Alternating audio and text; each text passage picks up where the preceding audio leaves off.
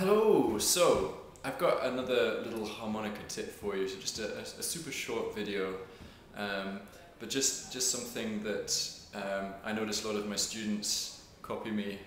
Um, they copy me exactly the way I, I play, uh, which quite often is one-handed.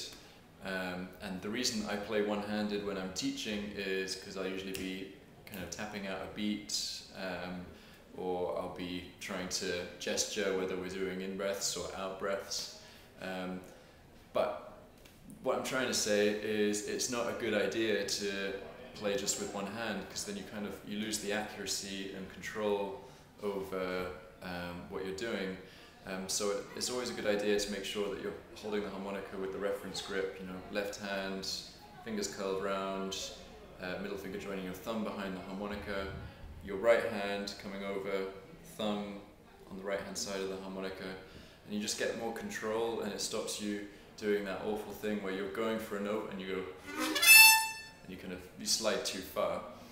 Um, so it just gives you a bit more stability and enables you to play more cleanly and more accurately. So yeah, make sure you always hold the harmonica with both hands until you're awesome.